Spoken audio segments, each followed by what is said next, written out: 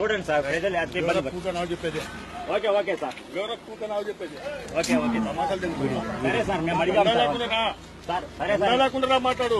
Okay sir జెండా తీసేస్తున్నా sir. ఇదిగో పట్టుకోండి. అల్లుపా నీకు? సార్, తీసేస్తున్నా సార్. ప్రాబ్లం సార్ అది. మా అడిగారు ఆల్రెడీ. నీ సమస్య ఉంటే జనరల్గా మాట్లాడు. నువ్వు జనరల్గా అల్లుపా నీకు ఎవరు? Okay okay sir okay. Okay sir మీరు సమస్య కూర్చొని మాట్లాడదాం. అవును సార్. ఇప్పుడు పోయినసారి కూడా అడిగారు sir.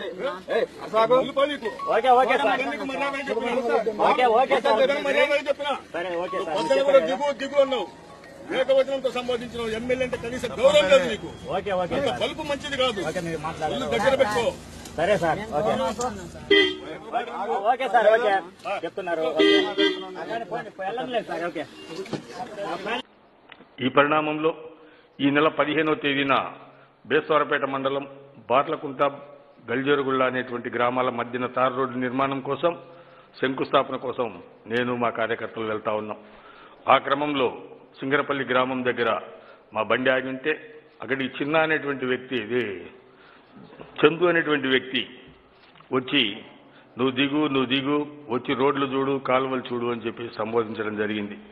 ఆ చందు అనేటువంటి వ్యక్తి రెండు వేల పంతొమ్మిదవ సంవత్సరం జరిగినటువంటి ఎన్నికల్లో ప్రజారాజ్యం పార్టీ అదే జనసేన పార్టీకి కాకుండా వైఎస్ఆర్ కాంగ్రెస్ పార్టీకే ఓటు వేసినాడు నాయంబడే ఉన్నాడు. అంతేకాకుండా నేను పాదయాత్ర రెండు వేల పంతొమ్మిదో సంవత్సరం ఆగస్టులో పాద తిరుమలకు పాదయాత్ర నిర్వహిస్తున్నప్పుడు అతను నా పాదయాత్రలో కూడా పాల్పంచుకోవడం జరిగింది. అంటే అప్పటి వరకు కూడా నేను ఇతను వేరే పార్టీ వ్యక్తి అని నేను భావించలా. అతను దిగు దిగు చీవుడు అని చెప్పేసి మాట్లాడుతూ ఉన్నాడు. వాస్తవంగా సింగరపల్లి గ్రామంలో జరుగుతున్నటువంటి ఆ నీటి పోయేటువంటి విషయం ఏంటయ్యా అంటే మీడియా ద్వారా అందరికీ తెలియపరుస్తా ఉన్నా. ఆ గ్రామంలో తొంభై ఐదు శాతము సిమెంట్ రోడ్లు నిర్మించడం జరిగింది. కానీ వర్షాకాలంలో వర్షాలు ఎక్కువ పడినట్లయితే పైన కొండ ప్రాంతంలో ఊట దిగి అది ఈ ఊరి మీదుగా నీళ్ళు రావాలా? ఆ గ్రామంలో ఉన్నటువంటి రైతాంగం అయితేనేమి లేదా గ్రామంలో ఉన్నటువంటి వ్యక్తులైతేనేమి ప్రభుత్వ స్థలాలు ఆక్రమించుకొని రోడ్లు నిర్మించుకున్నందువల్ల ఈ కాలువలను పూడ్చుకున్నందువల్ల ఆ నీళ్ళు పోయే దారిన పోకుండా ఈ సిమెంట్ రోడ్ల మీద నుంచి పారుతా ఉంటాయి. అంతేగాని ఈ జనసేన పార్టీ నాయకులు వర్ణించినట్టుగా అది మురికి నీరు కాదు.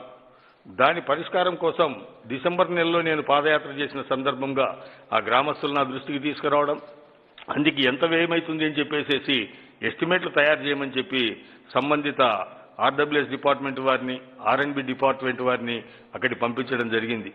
ఆ వాళ్ళు వెళ్ళేసేసి ఎస్టిమేట్ తయారు చేసినారు మార్కింగ్ కూడా చేసినారు. అంతలోపలనే వీళ్ళేదో వరగదిద్దామనేటువంటి ఉద్దేశంతో వచ్చి మమ్మల్ని ఈ ఏకవచనంతో మాట్లాడడం ఇబ్బంది పెట్టడం జరిగింది.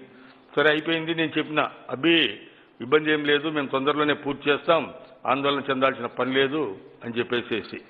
తదుపరి మేము ఆ ప్రోగ్రాం చూసుకొని కోనపల్లి వే- తిరుమల స్వామి దర్శనం చేసుకొని వాపసు వస్తున్న సందర్భంగా రోడ్డు మీద రోడ్డుకు అడ్డంగా రాళ్ళు పెట్టి జనసేన పార్టీ జెండాలు పెట్టి నన్ను ఆపడం ఆటకాయించడం జరిగింది.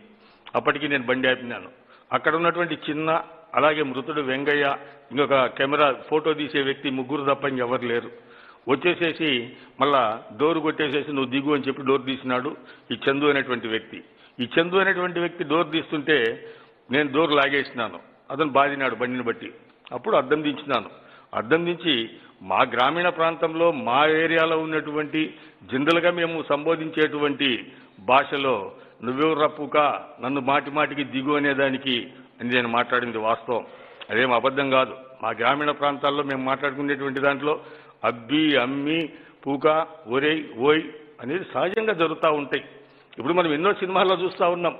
ఆ సినిమాల్లో కూడా మనం గమనించినట్లయితే హిందీ సినిమాలు కానీ ఇంకోటి కానీ చెల్బే చూతే అంటారు. అంటే దాని అర్థం ఏంటండి? ఏం సినిమాల నుంచి వచ్చిన వాళ్ళే కదా వీళ్ళు? గ్రామీణ ప్రాంతంలో జనరల్గా మేము మాట్లాడుకునేటువంటి ఆ మాట గురించి ఇంత హైలైట్ చేసినారు. రైట్. ఈటకు రెండిటకు మధ్యలో నేను పద్దన్నాతో మాట్లాడిన దానికి రెండవసారి వాపసు వస్తున్న సందర్భంగా నన్ను బండి ఆపిన దానికి మధ్యలో ఈ చనిపోయిన వ్యక్తి ఆ రెండో వ్యక్తి ఇద్దరు గ్రామంలో తిరిగి జనాల్ని మీరు రండి మీరు రండి అని చెప్పినటువంటి విజువల్స్ కూడా వాళ్ళే పెట్టినారు. అవన్నీ కూడా దయచేసి గమనించండి. అట్లనే నా బండి ఆపినప్పుడు నేను మాట్లాడింది తప్పుగా మాట్లాడుతున్నారు. బండి ఆపి కొట్టింది మరి పెట్టలేదు. అలాగే పద్దన పుట్ట నాతో మాట్లాడింది పెట్టలేదు. అలాగే కట్ చేసేసేసి కేవలం నేను ఈ మాట మాట్లాడింది ఒకటి మాత్రమే పెట్టినారు. రైట్ ఒకవేళ నేను తిట్టినాను చచ్చిపోయింది అనుకుందాం. నాకు చనిపోయినటువంటి వెంగయ్యకి అసలు ఎక్కడ వివాదం జరిగింది? నేను మాట్లాడింది చందు అనేటువంటి వ్యక్తితో.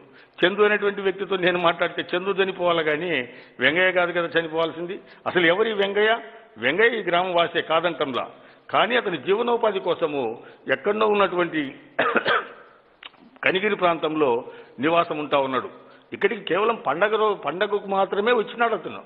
పండగకు వచ్చినటువంటి వ్యక్తి గ్రామ సమస్యల గురించి అతనికి ఏం తెలుసండి? ఏం తెలియదు. పోతే మా నాయకులు ఏదో నిర్బంధించినారు వాళ్ళని కొట్టినారు అని చెప్పి మాట్లాడుతున్నారు. చరిత్ర తీయండి. ఆ చనిపోయినటువంటి వెంగయ్య అనేటువంటి వ్యక్తి గతంలో ఈ ఈ గ్రామంలో వాళ్ళ అన్నం చంపినారనేటువంటి ఉద్దేశంతో వెప తపంచాలు పెట్టుకొని నాటు బాంబులు పెట్టుకొని తిరిగినటువంటి వ్యక్తి. అటువంటి క్యారెక్టర్ ఉన్నటువంటి వ్యక్తిని మా నాయకులు అంత దౌర్జన్యం చేయగలుగుతారా అండి? దానికి తోడుగా ఆ గ్రామంలో వాళ్ళకున్నటువంటి సమిష్టి ఇదితోటి ఒకళ్ళు ఎవరన్నా దాడి చేస్తే అందరు కలిసి వాళ్ళ మీదకి పోయేటువంటి మనస్తత్వం ఉన్నటువంటి గ్రామమే కానీ అట్లా గమ్మున ఇళ్ళలో పండుకునే గ్రామం కాదు. కాబట్టి అతను చనిపోయింది అతని యొక్క సొంత విషయాలతోటి అయితే దాన్ని తీసుకొచ్చి మా మీద రుద్దడం మా పార్టీ మీద రుద్దడం అనేది భావ్యం కాదు అని చెప్పేసి తెలియపరుస్తా ఉన్నా.